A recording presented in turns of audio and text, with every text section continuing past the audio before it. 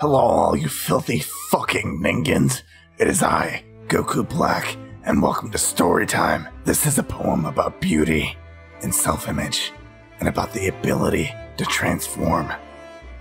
Vegeta was ugly, like a shaven baboon, so he wrapped himself up in a curtain cocoon. And after a week, he finally emerged. He smelled like shit. What a psycho. Did you enjoy that? You better have or I'll fucking kill you. Hey, how you doing? Did you like this video? Then how about subscribing to the channel?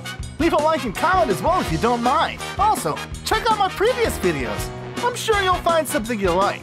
But until next time, guys, this has been Goku.